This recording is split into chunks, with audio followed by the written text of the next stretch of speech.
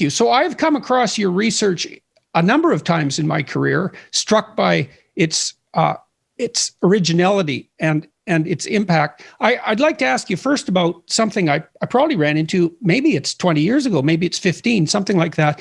You did some work on the perception of attractiveness, bilateral symmetry, averageness, and sexual selection. Can you outline what you found and why?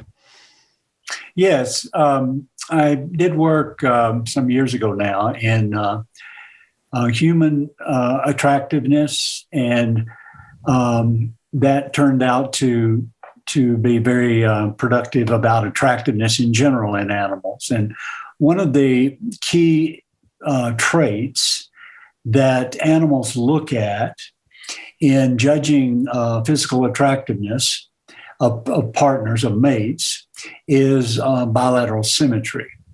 And uh, a colleague and I in the early 90s uh, came up with a way to measure uh, facial symmetry in humans. It had been uh, worked on before, and but the measurements that they used were didn't work. Uh, so we came up with a with a method that did work, measuring bilateral symmetry in the face. So that is the symmetry of the two sides of the face. Why is that important, and why is it a marker for attractiveness? It turns out that that bilateral symmetry is a measure of developmental health, and so the the organism uh, when it starts developing, it's designed by evolution, by selection, to to uh, achieve a bilaterally symmetric form. You can think of that. This is the case when I say organisms, I mean all forward moving organisms. All forward moving organisms uh, have, uh, have, have adaptations, developmental adaptations to achieve a bilaterally symmetric body because, first of all, that reduces drag. So if you're moving forward and you're bilaterally symmetric, you don't have any drag in your movement. You can think about a person with a, a leg uh, a bit shorter than the other, and there's drag in the move in the forward movement. The more of that asymmetry, the more drag. So you lose efficiency in movement. That's fundamental to what bilateral symmetry is about. But next, bilateral symmetry is very hard. Perfect bilateral symmetry is very, very hard to achieve by development. So it's a marker of quality of the individual pertaining to its developmental health. We see in many things that human beings design to move forward bilateral symmetry. Cars are automobiles are bilaterally symmetrical, airplanes are bilaterally symmetrical. Yeah. So we like our world to be that way. Yeah, we like our world to be that way. Actually, it turns out. And, and um, well, and you're associating it with the, the marker. principle. If you had if you had one side of the car uh, asymmetric compared to the other side of the car, then there'd be more drag. You know, it's not an efficient, you'd, you'd use more gas. Think about it that way uh, in driving down the road with an asymmetric car.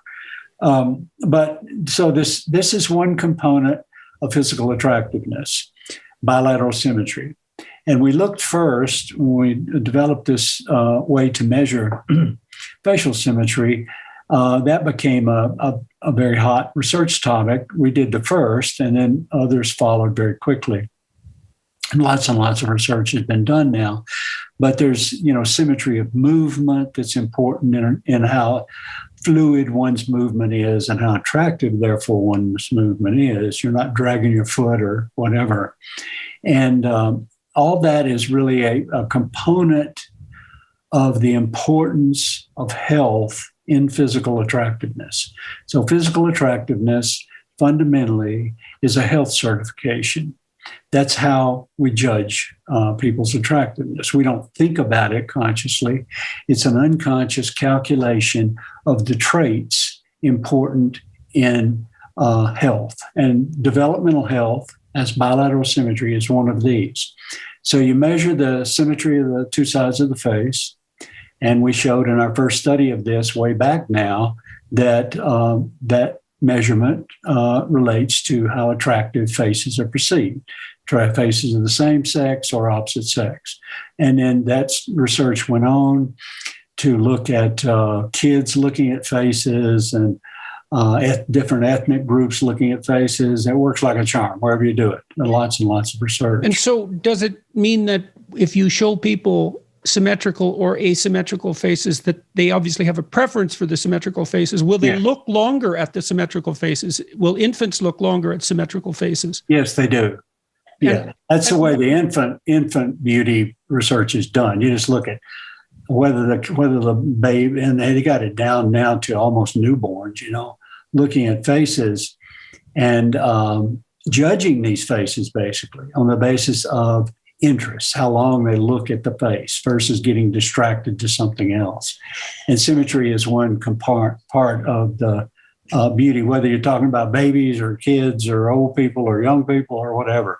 Facial symmetry is, is very important. It's not the only beauty marker in the face we look at. We can talk about that in a moment too, because that gets us into uh, some other research we've done.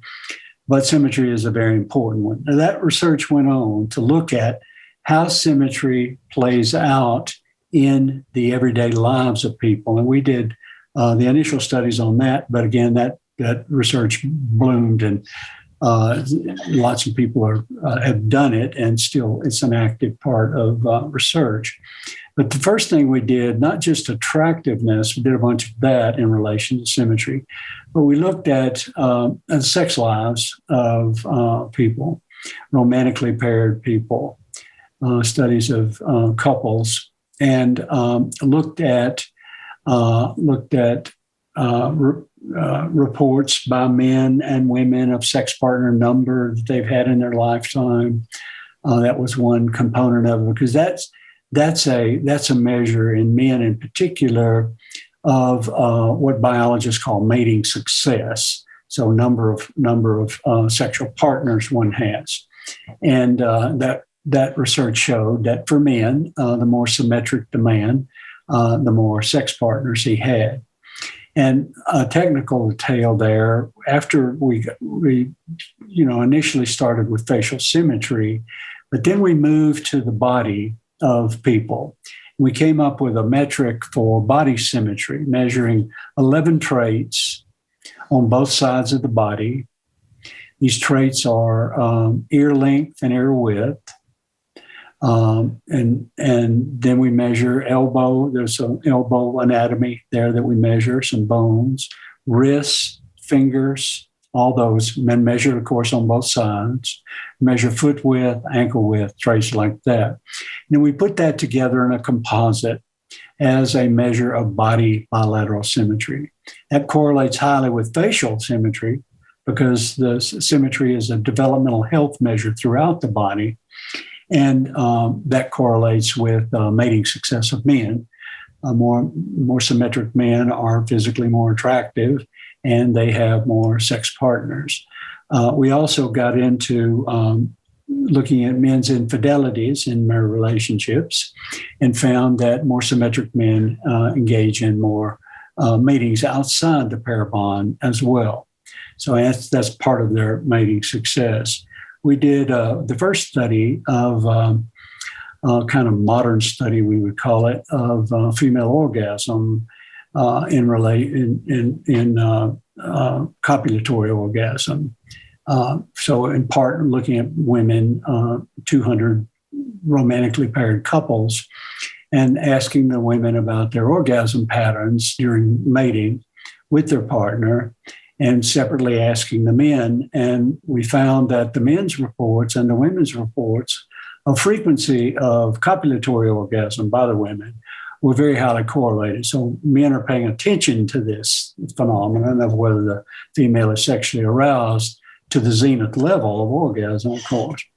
And uh, more symmetric men were firing uh, more copulatory orgasms too. That was a very classic study in human so I have a specific question about that. Yeah. I've always wanted to ask a biologist interested in sexual behavior, but I know that there's been a lot of discussion about the hypothetical evolutionary purpose of female orgasm. And I was wondering if female orgasm is disproportionately likely to trigger trigger male orgasm. I, because it could be it could be an yeah. adaptation that's used to elicit pregnancy, essentially. Yeah, I don't think it is it's there's no there's there's no evidence that females that orgasm very infrequently have fewer babies. And actually, women who don't ever orgasm can be quite fertile. So I don't think it's fundamentally that. I think what it is, is it's part of female mate choice and more and more basically sire choice of the female. Let me explain. So when a female uh, has an orgasm, uh, she has uterine contraction, of course, and that pull it works like a suction. It pulls the uh, content of the vagina up to the cervix. So it puts the puts the content of the vagina in a good place. And if that content includes the male's ejaculate, then she's pulling the male's ejaculate up to the cervix where it's easier for him to get, you know, either for the ejaculate to get into the right place to conceive. So if she, imagine a female who has two mating partners, she orgasms with one, pulling his ejaculate up to the cervix, and she skips orgasm with the other partner. So she, in effect, is mated with both men. So that is, you know, same mating success of the two men, if you just look at mating success. But she's doing something more subtle that is differentially affecting the fertilizing capacity of the ejaculate of the two men. The man, the ejaculate she pulls up has more potential for fertilization. And that's a component of cryptic female choice. So uh, in the 80s, I discovered uh, what I labeled as cryptic female choice, first in insects, and then uh, it, it applied to uh, female uh, orgasm uh, too in in, in humans. As a, cryptic female choice is, is just the the kind of female choice that is invisible if you're only measuring mating success. So, in the example we talked about, the two guys mating with this female had the same mating success. They both mated with her, but one had was was preferred over the other by the female's orgasmic capacity with him that pulled his ejaculate up. And so, females, by showing this differential uh, um, orgasm pattern that I described with symmetry, are favoring symmetric partners over other men. Men, are you looking for freedom? Are there things in your life that are holding you back from being the man that you're called to be? If you're looking to build a life plan that is ordered towards prayer and discipline alongside other like minded men, then you need to check out Exodus 90 app. The Exodus 90 app offers a daily companion to help you grow closer to God and to become the man you want to be, the man you need to be. On the app, you can join thousands of men for St. Michael's Lent, which starts August 15th and leads up to the Feast of St. Michael the Archangel on September 29th. St. Michael's Lent is an ancient tradition of prayer and fasting popularized by St. Francis in the Middle Ages that's been lost in our time. Let's bring it back. Join the men of Exodus 90 and Father Carlos Martins, Catholic priest and host of the Exorcist Files, who will serve as our spiritual guide for St. Michael's Lent this year on the Exodus 90 app. We will awaken to invisible realities and enter into the spiritual battle that rages around us all the time. Go to exodus90.com slash JBP for a 14-day free trial of the Exodus 90 app and to learn more about St. Michael's Lent. That's exodus90.com slash JBP to join us for St. Michael's Lent starting August 15th. And hypothetically healthier partners and, and hypothetically yeah, providing your kids with an, right. with an advantage. Uh, that's right, higher genetic quality. And then that's that's an issue behind all this discussion so far is that uh, female organisms uh, are after uh, high genetic quality partners when they're, when they're you know to be fathers of their offspring. So it's a sire choice more the a cryptic female choice is more of a sire choice than just a mate choice.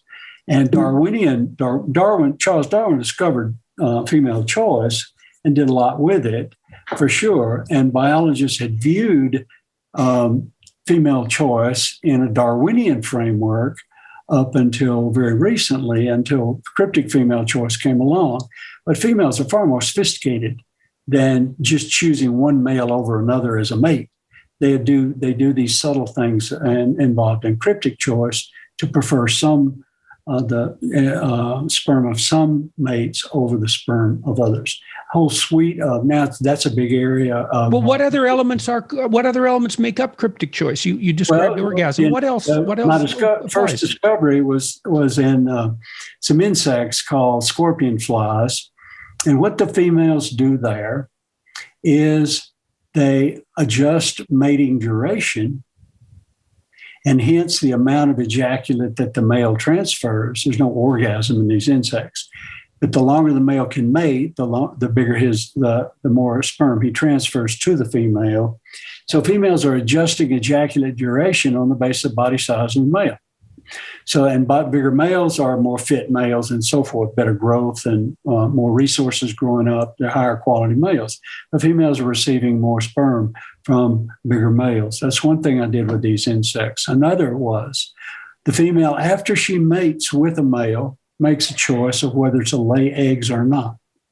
If she chooses to lay eggs, then she will fertilize, we know from other research I've done, she will fertilize those eggs with the last male sperm she mated with. So if she makes the decision to lay eggs, she's going to use that last male sperm. She and and large males again um, are preferred in that component of cryptic female choice. So cryptically, these female scorpion flies are preferring large-bodied males by both uh, receiving more sperm from them and making decisions to lay eggs uh, with them and not other males. So those kind of subtle things that uh, females do that aren't apparent if you're just measuring classical male mating success, you know.